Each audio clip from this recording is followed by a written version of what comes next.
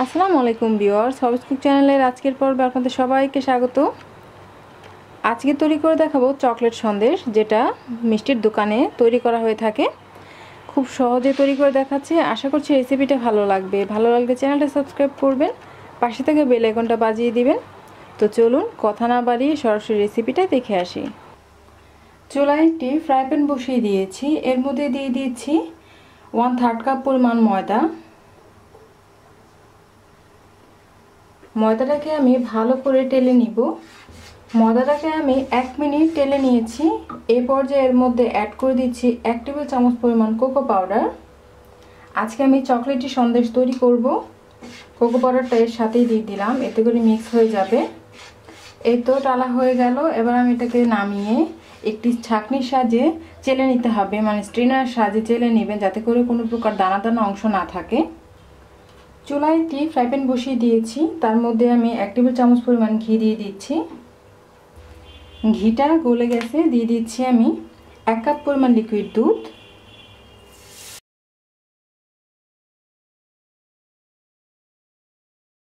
দুইটা এলাচ দিয়ে দিচ্ছি। একটু ফাটিয়ে দিচ্ছি, এতে করে ফ্লেভারটা তাড়াতাড়ি ছড়াবে। দুধটা বলক আসা পর্যন্ত অপেক্ষা করব। দুধে কিন্তু বলক এসে গেছে। দিয়ে দিচ্ছি হাফ কাপ পরিমাণ চিনি। মিষ্টিটা যার টেস্ট অনুযায়ী বাড়ি বা কমিয়ে দিবেন।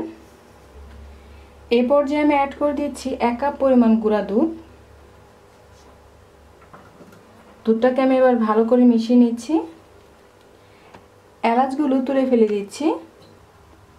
মিক্স করা হয়ে গেছে। এবার আগে থেকে টেলে নেওয়া ময়দা এবং কোকো পাউডার মিশ্রণটা ঢেলে দিচ্ছি।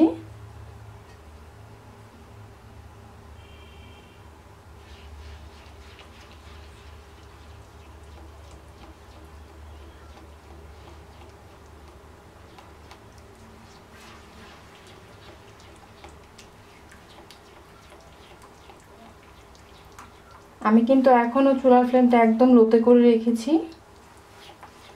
ভালো করে মিক্স করার পর আমি চুলার ফ্লেমটা মিডিয়াম লোতে করে দিব। মিক্স করা হয়ে গেছে, এবার এখন চুলার ফ্লেমটাকে মিডিয়াম লোতে করে দিব।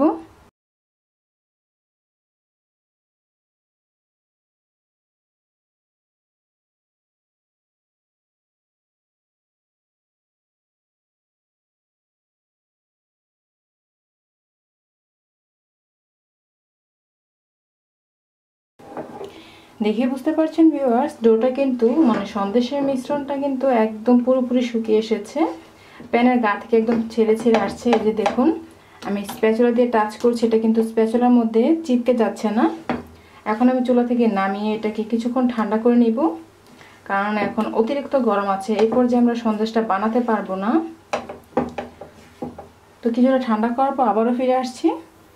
চকলেট সন্দেশের মিশ্রণটা কিন্তু ঠান্ডা হয়ে এসেছে। পুরোপুরি ঠান্ডা হয়নি। আমি এখানে নিয়েছি একটি সন্দেশ বানানোর ছাঁচ। তার মধ্যে কিছুটা ঘি ব্রাশ করে দিচ্ছি। এতে করে সন্দেশটা তুলতে সুবিধে হবে। এর মধ্যে আটকে যাবে না।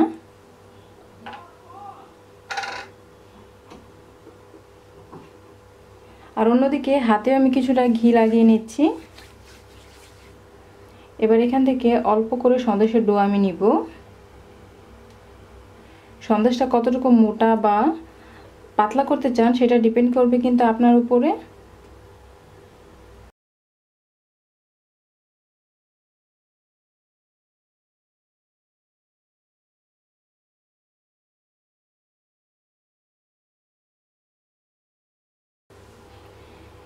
এই যে দেখতে পাচ্ছেন ভিউয়ার্স কত সুন্দর একটা স্বাদ উঠে গেছে।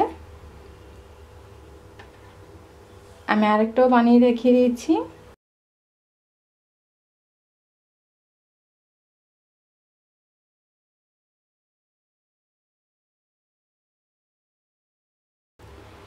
দেখলেন তো বিয়ার্স কত সুন্দর হয়েছে। এভাবে করে আমি সবগুলো সন্দেশ বানিয়ে নেব। সম্পূর্ণ সন্দেশগুলো তৈরি করার পর আমি একটি ছড়ানো প্লেটের মধ্যে নিয়ে তিন চার ঘণ্টা এমনিতেই রুম টেম্পারেচার রেখে দিয়েছিলাম। খেয়াল রাখবেন, এটাকে কোনো প্রকার পাখার নিচে অথবা ফ্রিজে রাখতে যাবেন না।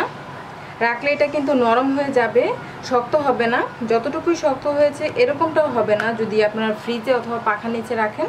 আমি একটি পাত্রে আপনাদেরকে সার্ভ করে দেখাই।